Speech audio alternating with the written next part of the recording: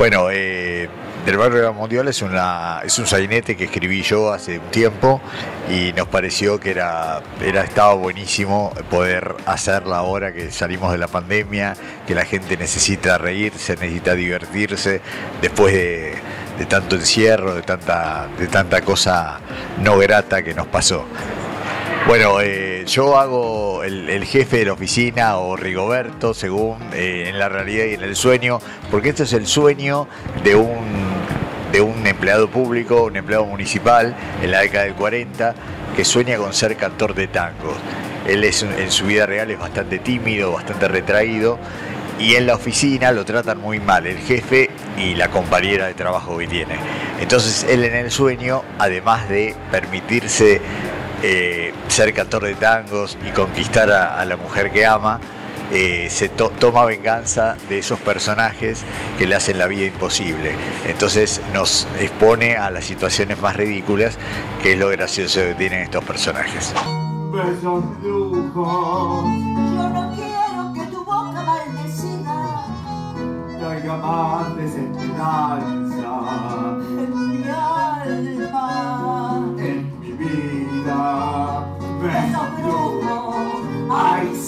Bueno, esto surgió como una propuesta, me pareció muy original, esto de que se escriba un sainete en estos tiempos a la usanza de lo que eran los sainetes del año 40. Eh, la acción transcurre en el año 46.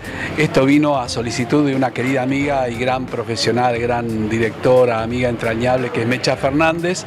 Me mostró la obra de Jorge Lorenzo y me entusiasmé de inmediato. Originalmente no pensé que iba a tocar en las funciones, pero me enganché de tal manera que aquí estoy tocando. Yo pensé que solo iba a componer y escribir los arreglos para la música, pero me, apasioné con esta obra que me parece divina, divertidísima y los sumé a un gran bandoneonista, un extraordinario músico y gran amigo, entrañable amigo, que es Nicolás Perrone, a mi diestra.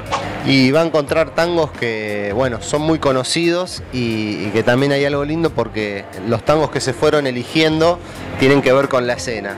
Entonces, no sé, está el, hombre que seduce a la mujer y se toca el garufa, que, es un seductor y se hace el, el tango el garufa Después, para pintar el barrio, Melodía de Arrabal y así. Todos tangos muy conocidos, eh, algunos originales compuestos por Esteban. Y que bueno, ya con el tema entras en el, en el ambiente de lo que va a recrear la escena.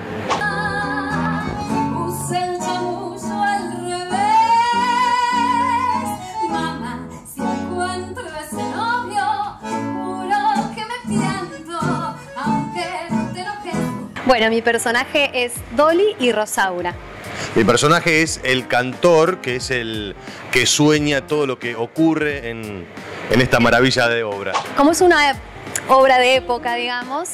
Eh, yo me fui basando más en ver películas de la época, porque, viste, tengo que hacer una señorita muy de los 40, que pone, viste, las manitos así, que tenía toda una forma de ser muy delicada. Lo mismo, obviamente, dentro de la misma tónica teatral eh, y también se aborda en este caso desde, desde una suerte de cómic, podríamos decir algunos elementos de clave de clown que utilizo. Yo soy como soy el, que sueña y el protagonista del sueño, no digo de la obra, sí tengo una conexión más directa con el público, entonces utilizo mucho la mirada a público y el mío en, en particular es un personaje que se va adaptando a lo que ocurre alrededor, es decir, el resto de los personajes interpela al mío que es el que se va modificando y reaccionando ante lo que ocurre. Si tú te vas, se va mi ilusión.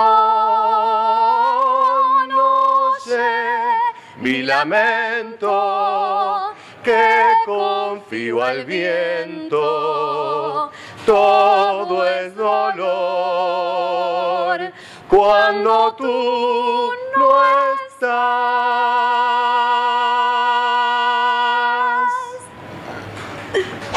Bueno, buenas tardes. Eh, yo soy Silvia Geijo y tengo el personaje de Alma y de Dolly. Y no, perdón, Alma y Norma. Me equivoqué, quería hacer la otra, pero para sacarle también el papel. Porque Norma es muy mala y le hace la vida imposible al cantor. Pero además tengo la suerte de ir muteando los personajes, van cambiando. Paso a ser una cabaretera, eh, paso a ser una ama de casa. Cantantes, cantantes son Jessica y Carlitos Legrad. Nosotros somos actores de reparto donde eh, componemos y por lo tanto los tangos cumplen la función de hablar, reemplaza el texto. Canto Besos Brujos eh, conjuntamente con mi compañero de escena que es Jorge Lorenzo y le canto a Jorge Lorenzo y te parece todavía para echarlo de mi casa. ¿Te parece todavía que te puedo perdonar? Vos serás como una herida para el resto de mi vida, pero otra cosa jamás.